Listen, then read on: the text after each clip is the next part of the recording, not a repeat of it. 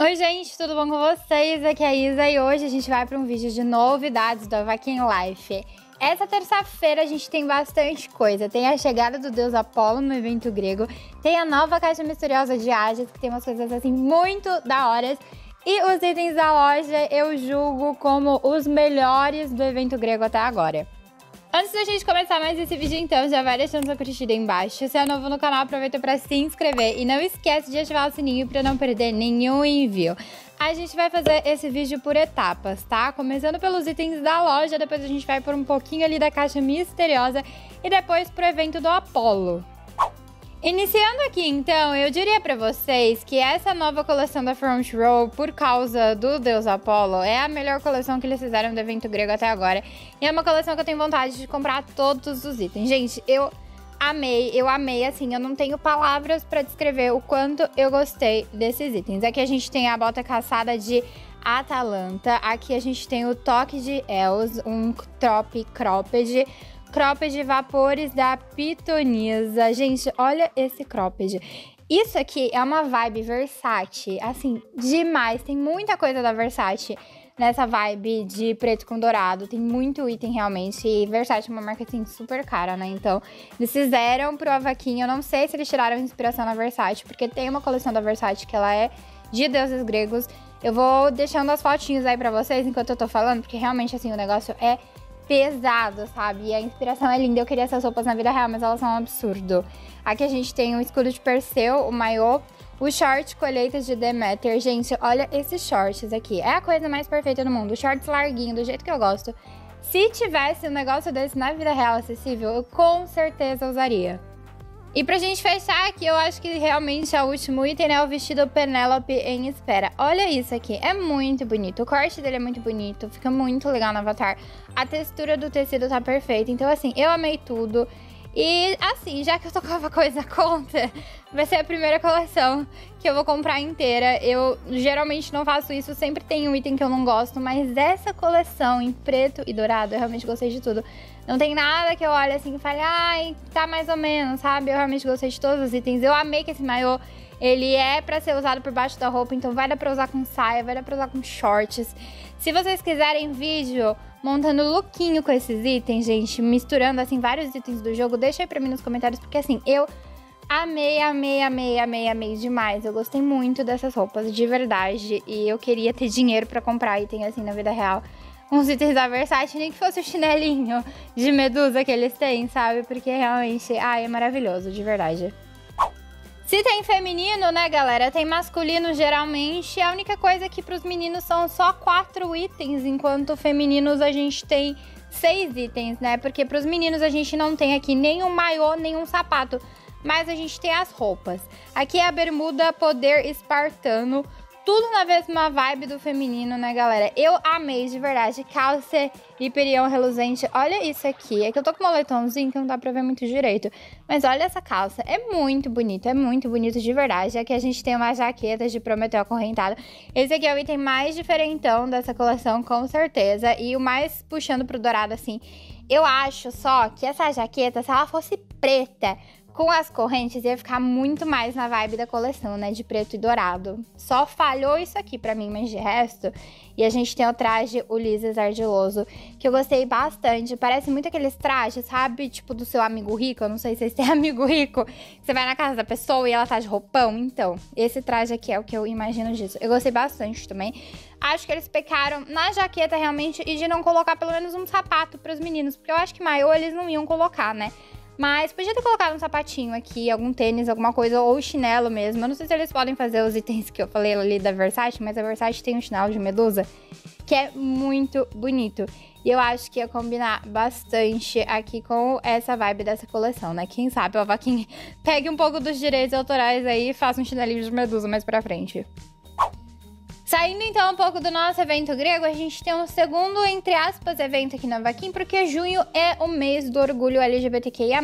Como vocês podem ver aqui na marca, né, eles estão lançando coisa desde o começo do mês. Começou com a coleção da bandeira trans, e aí foram vindo as bandeiras, né, semana passada a gente teve da Bi, enfim, nessa semana então a gente continua com o lançamento das bandeiras. Eu acho que agora só tá faltando duas Eles fizeram essa coleção aqui nas cores. Eu gostei bastante desse macacãozinho. Vocês podem perceber, né, gente, que conforme a coleção vai passando, essa blusa também é maravilhosa. Jaqueta Princesa Encantada, amei o nome. Vocês podem perceber, né, que conforme as coleções vão passando, eles estão fazendo uns itens mais ou menos parecidos, né? Aqui na parte dos macacõezinhos, então semana passada teve um macacão Aqui, essa semana também teve um macacãozinho. É mais ou menos a mesma coisa, a mesma vibe. Eu gosto. Eu gosto no sentido de falar que eles estão fazendo as roupas mais ou menos iguais. E aí, se você gostou de um modelo de roupa, você pode comprar o da sua bandeira específica. Podiam ter feito só mais um pouquinho, assim, por exemplo, esses croppeds que eles fizeram com a bandeira Bia aqui, ficou muito legal. Essas duas da semana passada. Eu gostei bastante. Não tem esses croppeds nas outras coleções. Mas tem a jaquetinha, tá vendo? Aqui a gente tem uma jaquetinha, aqui a gente tem outra com outra bandeira. Eu tô gostando bastante dessas coleções que eles estão lançando. E pro masculino, gente, como das meninas veio de lésbica, do masculino veio o da bandeira gay aqui. As mesmas cores, os mesmos itens.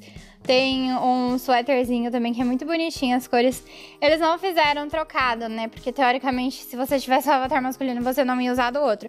Eu acho que eles podiam ter feito as duas cores sim, sabe? Porque às vezes você quer usar para apoiar algum amigo, alguma coisa assim. Eu acho que eles podiam ter feito, eram só quatro itens, né? Então não ia custar muita coisa fazer as duas bandeiras pros dois, né? Mas eu entendo por que, que eles fizeram isso. A coleção é mais voltada para você mesmo, você usar a sua bandeira, né? E não para seus amigos exatamente usarem a bandeira para te apoiar. Enfim, se for lançar mais coisa mesmo, vai ser na sexta-feira que vão vir os restantes aqui das coisas do evento do orgulho, até porque junho já tá acabando. Mas eu achei o máximo, de verdade, que eles realmente se preocuparam em lançar coisas de todos aqui dentro do jogo. Indo agora aqui para a parte das animações, a gente tem algumas poses e algumas ações. Aqui, gente, da Flawless vieram essas poses de maquiagem. Então, a gente tem ali a base de Afrodite, muito bonitinha também, Avatar, posando batom angelical. Tá vendo? Tudo realmente da sua avatar ou pro seu avatar fazer as maquiagens. Aqui tem um de perfuminho. E ali a gente tem aquele primeiro que eu tinha mostrado pra vocês, fragrância celestial, que também é de perfume. Tem um da máquina de construção aqui, delineador de olhos brilhantes de teia. E para que, que servem essas poses aqui? Vocês podem estar se perguntando. O Avaquim lançou alguns itens que são de maquiagem, tá vendo aqui? Batom em pó compacto divino da Flawless. Tem da máquina de construção, base compacta. Tem o delineador, né, segundo de vista. Olha esse potinho de delineador. Então, assim, essas poses são para ser usadas com esses itens que o Avaquim lançou. E aí você pode colocar a maquiagem na mão do teu avatar e escolher a pose que corresponde à sua maquiagem, que deixe certinho ali. Eu tinha comentado quando as maquiagens lançaram, né, que eu achei realmente que o Avaquim ia fazer um conjunto de ações para usar essas maquiagens que não faz sentido só a gente deixar na mão do avatar, né? Achei bem legal, até para quem grava filme dentro do jogo, para quem grava historinha, isso aqui vai ajudar demais. E tirando ali as ações, a gente tem as poses do deus Apolo, que é o nosso quarto deus grego do evento José. A primeira é evitando o mal. A gente também tem o deus da dança e o outro é o Apolo atirando ao longe. Essa aqui foi a que eu mais gostei, achei que ficou bem legal, até com o meu casaquinho aqui, a manga dele ficou muito certinha. São só três poses de Apolo, tá? A Evitando o Mal, ela é da máquina de construção. E para quem quiser uma ação, gente, a do delineador é da máquina de construção. Se você for aqui na loja, o delineador ele não é da máquina de construção. O que é da máquina de construção é o pozinho. O delineador você tem que comprar. Mas aí já ajuda bastante, né? Já facilita muito ter a ação do delineado na máquina. Já mudei meu look aqui, porque agora a gente vai começar a falar do evento Hoje Ceia mesmo. Começando, então, pela caixa misteriosa, a nova caixa misteriosa de Hades. E, gente, tem quatro itens aqui, três deles são muito legais. Aqui vocês já conseguem perceber que tem um conjunto de animação de fantasma, que ele é maravilhoso. Tem o Cérebro do Halloween, que é a coisa mais lindinha do mundo. E tem uma asa que é muito bonita também. Além daqueles itens ali que aparecem pra gente, também tem a parte aqui da caixa misteriosa dos dois icons que a gente já consegue perceber que são exclusivos. Esse vestido preto eu já achei maravilhoso também. Nenhum daqueles itens vai aparecer pra mim porque eu já tenho eles. Eu vou mostrar pra vocês aqui, então, a versão feminina da asa é essa asa aqui, Asas Anjo do Abismo da Cosmos, a que tá aparecendo ali na fotinha, é a versão masculina, tá? Eu já tenho a versão feminina, então se for ganhar alguma coisa vai ser masculina mesmo. O conjunto de animação de fantasma também, eu acho que todo mundo sabe qual que é, né? Ele é o showzinho do Halloween. Todo Halloween o povo compra bastante ele. Então, assim, tá na caixa misteriosa. Ele é um conjunto ótimo para usar com asa também, porque deixa o avatar flutuandinho, assim, muito bom. E o Cerbero, né, que é o nosso petkin, eu não sei se vocês lembram dele, mas ele também é do Halloween. Aqui a gente tem a Quimerinha que é de lá, e o cãozinho Cerbero. Esse petkin, gente, ano passado ele tava vendendo, na retrasada ele fazia parte do evento de construção dos petkins do Halloween. Ele é muito legal, ele é um pouco difícil de usar no perfil, assim, porque você tem que usar uma pose bem certinha pra você não dar na cara do cachorrinho, assim, né, um chutinho nele. Mas ele é muito bonitinho, eu gosto bastante dele, assim, bonitinho no sentido de que é um petkin assustador, mas eu acho ele muito fofo.